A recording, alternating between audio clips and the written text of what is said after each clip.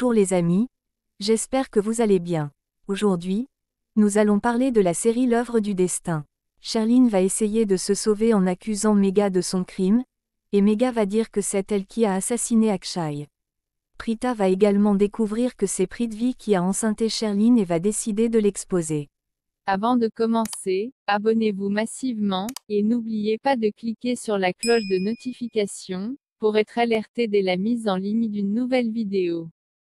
Suivez-nous également sur les réseaux sociaux, les liens sont placés juste à la description, où vous pouvez taper Zimagic Info Plus ou arrobas Zimagic Actu dans la barre de recherche de YouTube, Instagram, TikTok, Facebook et Twitter pour nous suivre, et recevoir plus d'actualités sur les séries indiennes de Zimagic.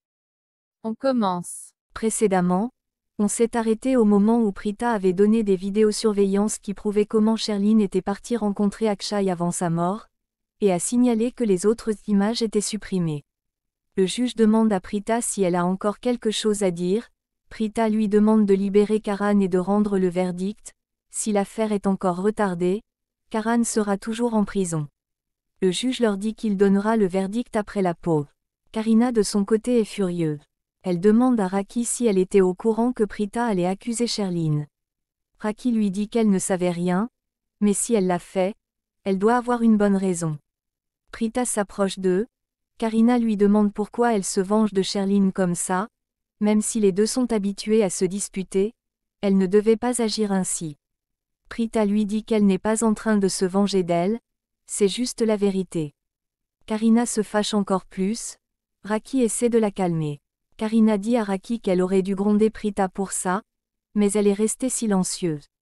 Karina dit à Prita qu'elle avait commencé à lui faire confiance, mais elle a brisé cela.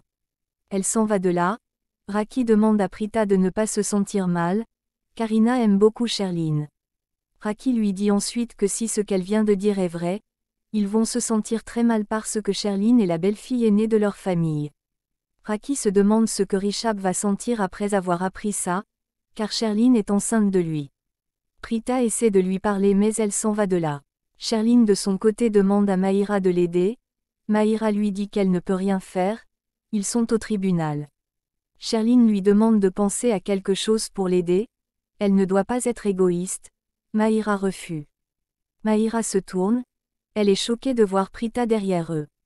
Maïra part de là, Prita dit à Sherline qu'elle ne va pas perdre cette affaire car il s'agit de son mari, elle ira en prison. Sherline lui dit qu'elle n'est pas la meurtrière. Prita lui demande comment Akshay est alors mort. Sherline lui dit que les gens sont nés pour mourir. Sherline l'avertit d'arrêter avec cette histoire sinon elle aura des conséquences graves. Sherline s'en va de là et Prita devient tendue à cause de cette menace. Samir vient là pour lui dire que l'audience veut recommencer, il la trouve tendue. Il lui demande ce qu'il y a, Prita ne lui dit rien et rentre au tribunal. Karan de son côté cause avec Raki. Karan demande à Raki si elle doute de Prita. Raki lui dit qu'elle lui fait confiance. Elle dit que si ce que Prita a dit est vrai, elle ne va jamais pardonner à Sherline. Un policier vient appeler Karan, lui demandant de venir, l'audience veut de nouveau recommencer. Sherline de son côté demande à Prithvi de l'aider, Prithvi lui dit qu'il ne peut rien faire pour le moment. Sherline lui dit qu'elle a fait beaucoup de choses pour lui dans sa vie elle lui demande de se demander ce qui pourrait arriver si tout le monde découvre qu'elle est enceinte de lui. Elle lui dit que si leur relation est découverte, ça sera catastrophique. Kritika vient là et leur demande de quelle relation ils parlent. Prithvi essaie de trouver un faux prétexte, Kritika l'emmène à côté. Kritika lui demande de quoi est-ce que les deux parlaient, Prithvi lui dit qu'il a pitié de Sherline parce que Prita l'a accusé injustement. Kritika lui demande de ne pas faire confiance à Sherline, elle n'est pas une bonne personne. L'audience recommence, les vidéos que Prita a montrées sont vraies, Sherline était ce jour-là à l'hôtel. Sherline demande aussi la permission de parler, et demande à ce qu'on appelle Mega.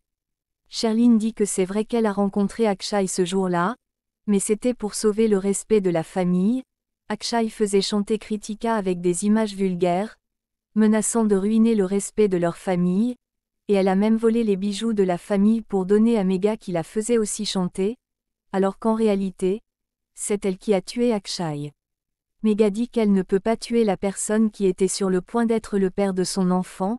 Sherlyn lui dit qu'elle lui a fait chanter en lui disant qu'elle a des images que Akshay a laissées, et elle lui a demandé de l'argent. Mega dit que Sherlyn ment, tout ce que Prita a dit c'est vrai. Sherlyn lui demande d'avouer si elle ne lui a pas demandé l'argent. Elle dit qu'elle a juste essayé de sauver le respect de la famille, raison pour laquelle elle est partie rencontrer Akshay, mais en réalité, c'est Mega qui avait tué Akshay. Prita est étonnée par la façon dont Sherlyn ment. Sherlyn se tourne vers Kritika et lui demande pardon, elle lui dit qu'elle avait vu les messages dans son téléphone quand Akshay la faisait chanter. Sherlyn explique qu'après la mort de Akshay, Mega lui faisait chanter aussi en disant qu'elle a des images de Kritika que Akshay avait laissées en sa possession, et elle lui demandait de l'argent. Plus tard, Mega a avoué elle-même qu'elle a assassiné Akshay. Mega lui demande si elle a dit ça où. Sherlyn montre une vidéo d'elle avouant cela. Mega dit qu'elle faisait cela pour l'effrayer. Sherlyn demande au juge de donner son verdict et elle part s'asseoir au banc. Le juge condamne Mega et ordonne son arrestation, et la libération de Karan. Toute la famille rentre à la maison et grand-mère les accueille. Grand-mère est heureuse de revoir Karan. Karina lui demande de féliciter Sherlyn. C'est grâce à elle que Karan est libérée. Grand-mère commence faire des éloges de Sherlyn. Karina part crier sur Prita, lui disant qu'elle doit au moins avoir honte et s'excuser pour avoir mal agi envers Sherlyn. Raki essaie de calmer la situation, Prita leur dit qu'elle n'a pas de problème, elle peut s'excuser. Shrishti devient furieux et part directement chez elle. Grand-mère demande à tout le monde de partir de là, ils doivent sûrement être fatigués. Sherlyn arrête Prita pendant que tout le monde s'en va. Shrishti rentre à la maison et Jan qui lui demande ce qui s'est passé. Shrishti lui dit que Sherlyn s'est sauvée et a également sauvé Karan avec ses mensonges, et elle paraît comme une déesse aux yeux de la famille. Sherlyn de son côté demande à Prita de ne plus jamais essayer de la ruiner, elle peut ruiner sa vie comme elle a récupéré le rôle de la meilleure belle-fille. Prita lui dit qu'elle est la vraie meurtrière. Sherlyn lui dit qu'elle l'a tué par accident, elle était partie le voir pour l'affaire de photos de Kritika. Prita lui dit que c'est faux, c'est lié à sa grossesse. Sherlyn est choquée. Prita lui dit qu'elle avait vu son rapport de grossesse chez Akshay. Elle va enquêter pour savoir pourquoi Akshay la faisait chanter pour sa grossesse. Ensuite elle va l'exposer à la famille. Sherlyn lui demande de reculer sinon elle risque de lui faire du mal. Prita ne veut rien entendre. Prita s'en va de là. Sherlyn décide d'appeler Maïra et Prithvi. Elle se dit qu'elle va les punir pour avoir refusé de l'aider au tribunal. Prita parle avec Jan qui au téléphone, et Jan qui s'excuse pour avoir manqué de venir à l'audience.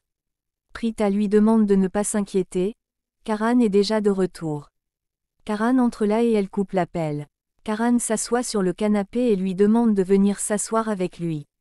Prita devient nerveuse et s'assoit avec lui, les deux deviennent un peu romantiques.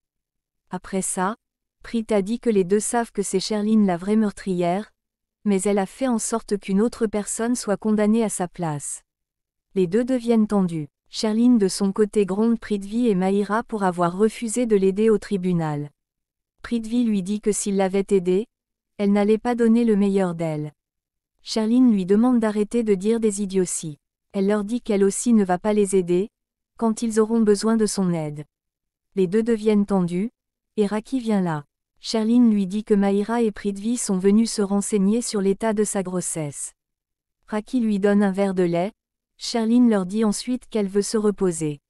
Après le départ de tout le monde, Sherlyn se dit qu'elle sera chouchoutée maintenant, elle doit maintenant son statut de belle-fille géniale, supérieure à Prita. Le lendemain, Prita se réveille et commence à contempler le visage de Karan. Karan se réveille et lui demande si elle observait son visage. Prita essaie de fuir sa question en disant qu'elle va à la cuisine, Karan l'attrape et les deux font des jeux romantiques. Maïra les voit et devient en colère. Elle se dit qu'elle reste ici pour Karan, mais il l'ignore, elle doit faire quelque chose. Maïra part à la table à manger, Prithvi vient aussi là et la trouve tendue. Il lui demande ce qu'il y a, Maïra lui dit qu'elle est tendue parce que Sherlyn est en colère contre eux. Prithvi lui demande de ne pas s'inquiéter, elle va se calmer. Après ça, toute la famille vient aussi à table. Chez Sarla, elle ne se sent pas bien, Shrishti décide à ce qu'elle se fasse examiner à l'hôpital pour savoir ce qui la dérange. Chez les Loutras, pendant qu'ils sont à la table à manger, Karina dit que le mariage de Prithvi et Kritika doit se faire dans trois jours, car Karan est revenu de la prison, Rishab va aussi bientôt revenir, beaucoup de problèmes sont déjà résolus. Raki décide également d'organiser une cérémonie pour la grossesse de Sherline. Karan se lève de là et leur dit qu'il va à son entraînement, Prithvi se lève et leur dit qu'il va au bureau. Raki demande à Prita d'inviter Sarla à venir à la cérémonie, elle ne veut pas de refus. Mahira se dit qu'on pense à tout le monde sauf à elle, elle a l'impression que les membres de cette famille ruinent sa vie. Chez Sarla, elle demande à Shrishti pourquoi elle part à l'hôpital, ça ne sera que du gaspillage, elle peut s'acheter les produits et consommer. Shrishti insiste, elle lui dit que sa santé est très importante. Sherline de son côté part dans sa chambre, elle se sent mal brusquement. Elle appelle à l'hôpital pour prendre un rendez-vous avec le médecin. Shrishti de son côté arrive avec Sarla à l'hôpital de la ville, et Sarla sent des vertiges. Shrishti demande à ce qu'on lui donne fauteuil roulant, Sarla lui demande de l'emmener simplement chez le médecin. Sherline de son côté appelle Prithvi et lui dit qu'elle ne se sent pas bien. Elle lui demande de le rencontrer à la réception de l'hôpital de la ville, l'hôpital où Shrishti et Sarla sont partis. Le médecin de son côté demande à Sarla de faire certains examens. Prita vient là et demande au médecin de faire vite. Sarla gronde Shrishti pour avoir appelé Prita. Prita lui dit que c'était important qu'elle lui parle à propos de cela. Sherline et Prithvi arrivent aussi à l'hôpital, et se dirigent à la réception. On leur dit que l'autre médecin n'est pas là, juste un autre qui s'appelle Roshni. Prithvi se souvient que c'est son ex-copine, il dit à Sherline que celle-là n'a jamais été intelligente, elle ne peut pas être un bon médecin. Sherline refuse et les deux décident d'aller la voir. Sherline part au cabinet, Prithvi lui dit qu'il attend dehors. Les deux passent à côté de Prita et Shrishti, mais ils ne se voient pas. Sherline entre dans le cabinet, la fille la reconnaît et lui demande si sa vie est devenue comme elle voulait, Sherline lui dit que oui, elle est mariée. Shrishti de son côté dit à Prita qu'elle sent comme si elle ne peut rien, depuis qu'elle est mariée elle l'appelle pour chaque problème. Prita lui demande de ne pas se sentir mal, elle est sa sœur. Prithvi part dans le cabinet du médecin, Shrishti la voit et le dit à Prita. Les deux décident de savoir ce qu'il fait ici. Sherline fait entrer Prithvi et la présente comme son mari à l'hôpital. Prithvi se comporte gentiment envers son ex-copine médecin, cela rend Sherline jalouse. Roshni emmène Sherline pour la consultation, Prithvi sent des bruits à la porte. Il devient inquiet et se demande si on les a suivis. Une personne vient dire à Shrishti et Prita de venir, ils ont fait les examens de leur mère, les deux partent là où se trouve Sarla. Sherline de son côté demande à Roshni si elle est devenue médecin comment, elle n'était pas intelligente à l'école. Roshni lui dit qu'elle est déjà mariée à quelqu'un d'autre, ça ne sert à rien de revenir sur le passé, Prithvi ne l'intéresse pas. Sherline lui demande encore comment elle a obtenu son diplôme. Roshni lui dit qu'elle est sa patiente, elle doit agir comme telle. Sherline lui demande d'admettre qu'elle est la meilleure, c'est elle qui est restée avec Prithvi.